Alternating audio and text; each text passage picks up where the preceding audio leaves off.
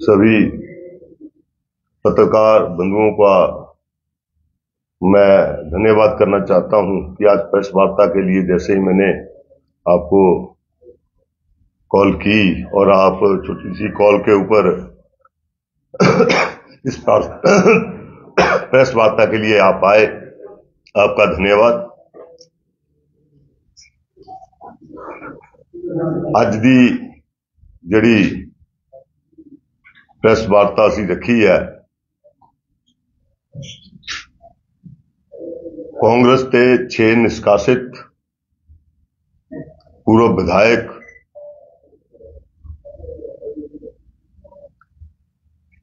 ਆਪਣਾ ਡੇਢ ਮਹੀਨਾ, ਡੇਢ ਮਹੀਨੇ ਦੇ ਬਾਅਦ ਆਪਣੇ ਆਪਣੇ ਏਰੀਆ ਦੇ ਵਿੱਚ ਆਏ ਔਰ ਉਹਨਾਂ ਨੂੰ ਬੜੇ ਬਾਜੇ ਗਾਜਿਆਂ ਦੇ ਨਾਲ ਬੀਜੇਪੀ ਨੇ ਉਹਨਾਂ ਦੀ ਐਂਟਰੀ ਕਰਵਾਈ ज्वाइन करने के बाद और जयराम जी और सतपाल सत्ती जी इन्होंने भी कार्यकर्ता ਨੂੰ ਅਲੱਗ-ਅਲੱਗ ਕਨਸਟੀਚੁਐਂਸੀ ਦੇ ਕਾਰਜਕਰਤਾ ਇਕੱਠੇ ਕਰਕੇ ਕੁਟਲੈੜ ਦੇ ਵਿੱਚ ਪੁੱਟੋ ਜੀ ਦੀ ਜਿਹੜੀ ਜਨਸਭਾ ਕਰਵਾਈ ਔਰ ਉਹਦੇ ਵਿੱਚ ਮੇਰੇ ਬੜੇ ਵੀਰ ਸਤਪਾਲ ਸੱਤੀ ਜੀ ਨੇ ਕੁਝ ਆਪੱਤੀਜਨਕ ਬਿਆਨ ਵੀ ਦਿੱਤੇ ਜਾਂ ਭਾਸ਼ਣ ਦੇ ਵਿੱਚ ਹਮੇਸ਼ਾ ਜਿਸ ਤਰੀਕੇ ਨਾਲ ਬੋਲਦੇ ਰਹਿੰਦੇ ਆ, ਕਹਿਣੇ ਦੀ ਗੱਲ ਵੀ ਨਹੀਂ ਹੈ ਕਿ ਉਹ ਕਦੀ ਵੀ ਕੁਝ ਵੀ ਕਹਿ ਸਕਦੇ ਆ।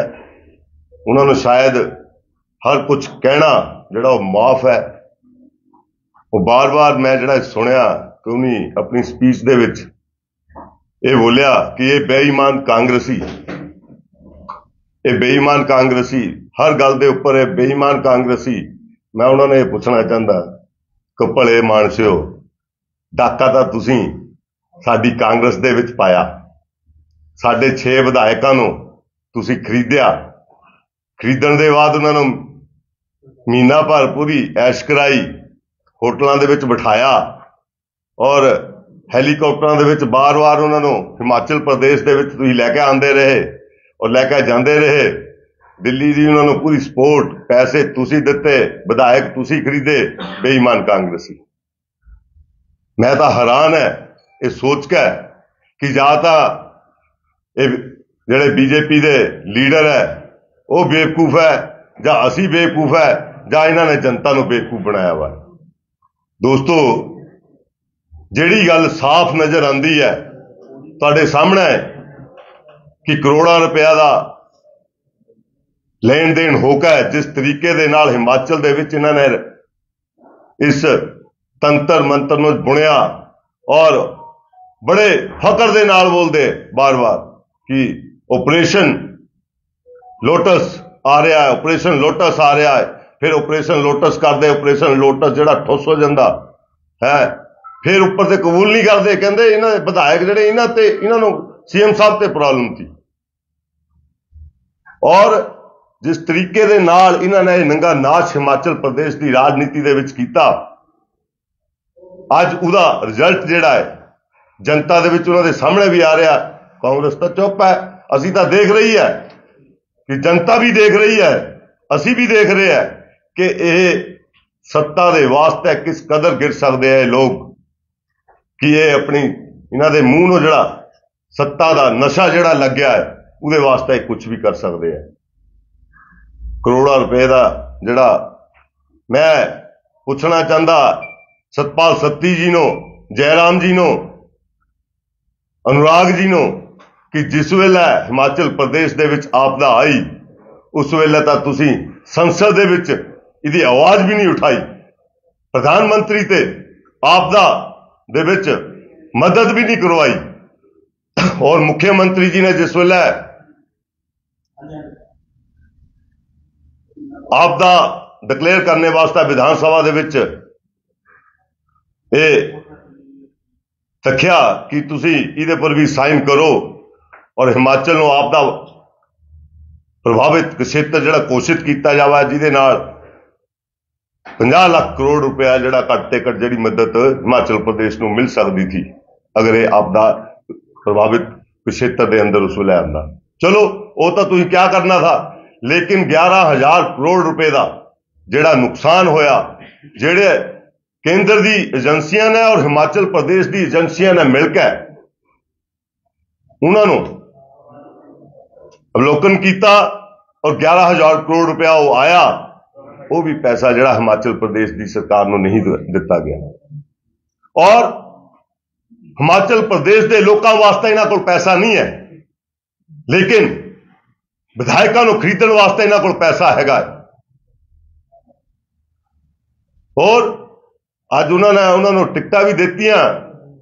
ਤਾਂ ਉਹਦੇ ਟਿਕਟਾਂ ਦੇਣੇ ਦੇ ਬਾਅਦ ਤੁਸੀਂ ਦੇਖਿਆ ਹੈ ਕਿ ਹਿਮਾਚਲ ਪ੍ਰਦੇਸ਼ ਦੇ ਬੀਜੇਪੀ ਦੇ ਵਿੱਚ ਵੀ ਕਿਸ ਤਰੀਕੇ ਦੇ ਨਾਲ ਉਹਨਾਂ ਦੇ ਲੀਡਰਸ਼ਿਪ ਦੇ ਵਿੱਚ ਵੀ ਵਿਖਰਾਫ ਜਿਹੜਾ ਹੈ, ਉਹ ਹੋਣਾ ਸ਼ੁਰੂ ਹੋ ਗਿਆ। ਜਨਤਾ ਤਾਂ ਜਿਹੜਾ, ਜਨਤਾ ਨੇ ਤਾਂ ਆਪਣਾ ਮਤ ਦੇਣਾ ਹੀ ਦੇਣਾ ਜਿਹੜਾ ਦੇਣਾ। ਲੇਕਿਨ ਇਹਨਾਂ ਦੇ ਵਿਸਥਾਪਿਤ ਲੀਡਰ ਜਿਹੜੇ ਆ ਉਹਨਾਂ ਨਾਲ ਵੀ ਘੋਰ ਅਨਿਆਏ ਹੋਇਆ।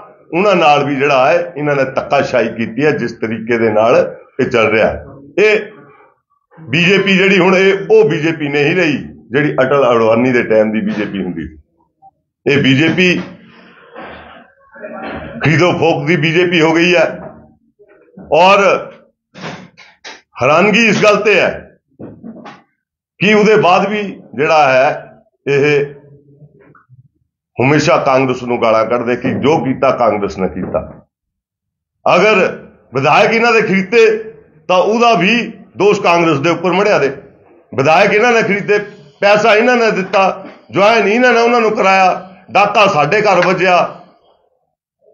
ਚੋਰ ਅਸੀਂ ਹੈ ਡਾਕਾ ਵੀ ਸਾਡੇ ਘਰ ਵੱਜਿਆ, ਚੋਰ ਵੀ ਅਸੀਂ ਹੈ ਮੈਨੂੰ ਨਹੀਂ ਸਮਝ ਆਉਂਦਾ ਕਿ ਸਤਪਾਲ ਸੱਤੀ ਜੀ ਦਾ ਜਿਹੜਾ ਬੋਲਣ ਦਾ ਕਿਆ ਅਭਿਪਰਾਇ ਥਾ ਬਾਰ-ਬਾਰ, ਜਿਸ ਤਰੀਕੇ ਦੇ ਨਾਲ ਇਹ ਕਾਂਗਰਸ ਨੂੰ ਕੋਸ ਰਹੇ ਥੇ।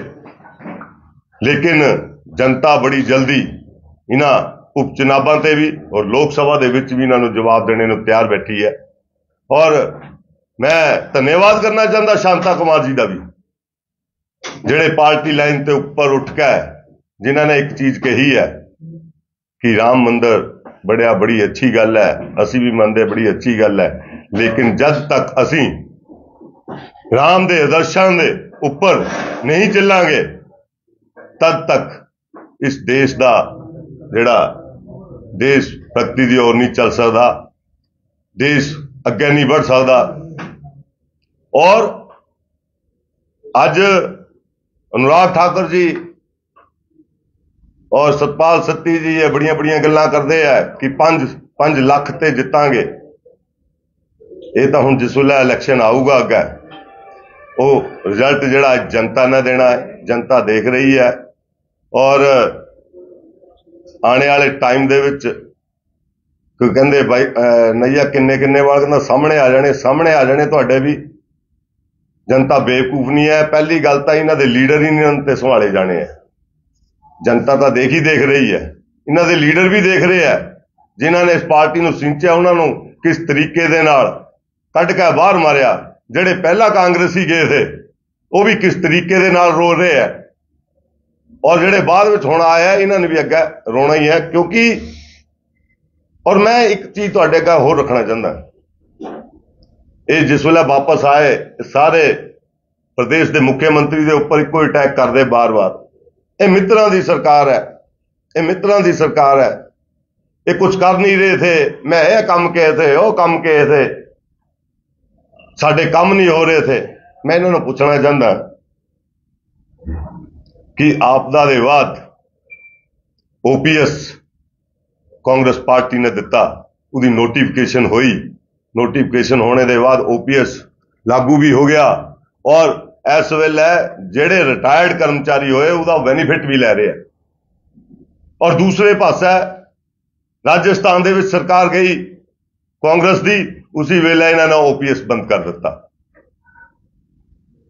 ਓਪੀਐਸ ਦੇ ਵਿਰੋਧ ਦੇ ਸਰਕਾਰ ਹੈ ਇਹ। ਆਮ ਜਨਤਾ ਦੇ ਵਿਰੋਧ ਦੀ ਕਰਮਚਾਰੀਆਂ ਵਿਰੋਧੀ ਜਿਹੜੀ ਹੈ, ਨਰਿੰਦਰ ਮੋਦੀ ਦੀ ਸਰਕਾਰ ਹੈ। ਇਹਦੇ ਬਾਅਦ ਅੱਜ ਕੱਲ ਇਹ ਬੋਲਦੇ ਜੀ, ਇਹ ਤਾਂ ਫਾਰਮ ਵੰਡਿਆ ਦੇ, ਇਸ ਇਸ ਕਰਕੇ 15 1500 ਰੁਪਏ ਲੇਡੀਜ਼ ਨੂੰ ਜਿਹੜੇ ਹੈ, ਇਹ ਫਾਰਮ ਹੀ ਆਪਣਾ ਉਹਨਾਂ ਦੇ ਭਰ ਰਹੇ ਆ ਉਹ ਭਲਾ ਮਾਨਸੋ ਨੋਟੀਫਿਕੇਸ਼ਨ ਜਾਰੀ ਹੋ ਗਈ। ਨੋਟੀਫਿਕੇਸ਼ਨ ਜਾਰੀ ਹੋਣੇ ਦੇ ਬਾਅਦ ਜਿਸ ਵੇਲੇ ਸਰਕਾਰੀ ਦਸਤਾਵੇਜ਼ ਦੇ ਥਰੂ ਫਾਰਮ ਭਰੇ ਜਾਂਦੇ, ਉਹ ਫਿਰ ਅਸੀਂ ਕਾਰਜਕਰਤਾ ਨਹੀਂ ਬਣਦੇ ਉਹਨੂੰ। ਉਹ ਤਾਂ ਸਰਕਾਰ ਦੇ ਨੁਮਾਇੰਦੇ ਜਿਹੜੇ ਹੋਣੇ ਆ, ਚਾਹੇ ਵੀਡੀਓ ਦੇ ਥਰੂ ਚਾਹੇ ਕਿਸੇ ਵੀ ਉਹਦੇ ਥਰੂ ਉਹ ਜਿਹੜੇ ਫਾਰਮ ਭਰ ਹੋਣੇ ਆ, ਉਹ ਜਿੰਨੇ ਵੀ ਉਹਦੇ ਲਾਭਾਰਥੀ ਹੋਣੇ ਆ, ਉਹਨਾਂ ਨੂੰ ਲਾਭ ਮਿਲਣਾ ਹੈ। ਜਿੰਨੇ ਕੁ ਫਾਰਮ ਭਰ ਗਏ, ਉਹਨਾਂ ਨੂੰ ਲੱਗ ਜਾਣੀ ਹੈ। ਲੇਕਿਨ ਇਹਨਾਂ ਨੇ ਦੇਖੋ, ਪਹਿਲਾਂ ਕਹਿੰਦੇ ਸੀ ਕਿ 15 1500 ਨਹੀਂ ਦੇ ਰਹੇ। ਜਿਹੜਾ 15 1500 ਦੇ ਦਿੱਤੇ ਤਾਂ ਫਿਰ ਜਾਕਾ ਹੈ। ਖੁਦ ਹੀ ਚੁਣਾਵ ਆਯੋਗ ਦੇ ਵਿੱਚ ਜਾਕਾ ਹੈ। ਉਹਨਾਂ ਦੀ ਉਹ ਬੰਦ ਕਰਵਾਈ ਇਹਨਾਂ ਨੇ। ਇਹ ਸਰਕਾਰ ਜਿਹੜੇ ਹੈ ਇਹ ਐਮਐਲਏ ਨੂੰ ਖਰੀਦ ਸਕਦੇ ਆ। ਲੇਕਿਨ ਮਹਿਲਾ ਨੂੰ 15 1500 ਰੁਪਏ ਚੱਲ ਗਏ, ਉਹਨਾਂ ਦੀ ਤਕਲੀਫ ਹੈ ਇਹਨਾਂ ਨੂੰ। ਐਮਐਲਏ ਖਰੀਦ ਕੇ ਆਪਣੀ ਸਰਕਾਰ ਬਣਾਉਣਾ ਚਾਹੁੰਦੇ ਆ। ਆਮ ਜਨਤਾ ਨੂੰ ਫਾਇਦਾ ਨਾ ਹੋਵੇ ਇਹਨਾਂ ਵਾਸਤੇ। ਇਹਨਾਂ ਦੀ ਇਹ ਪਾਲਿਸੀ ਹੈ।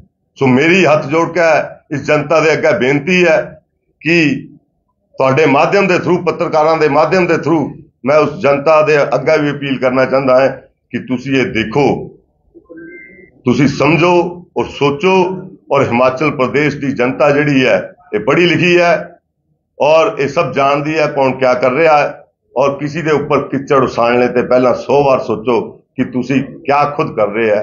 ਇਹੋ ਮੈਂ ਬੋਲੂੰਗਾ, ਬਾਕੀ ਮੇਰੇ ਪੱਤਰਕਾਰ ਬੰਧੂ, ਅਗਰ ਕੋਈ ਕੁਐਸਚਨ ਮੇਰੇ ਤੇ ਕਰਨਾ ਚਾਹੁੰਦੇ ਹੈ, ਤਾਂ ਮੈਂ ਉਸ ਕੁਐਸਚਨ ਦਾ ਜਵਾਬ ਦੇਣੇ ਨੂੰ ਵੀ ਤਿਆਰ ਹਾਂ।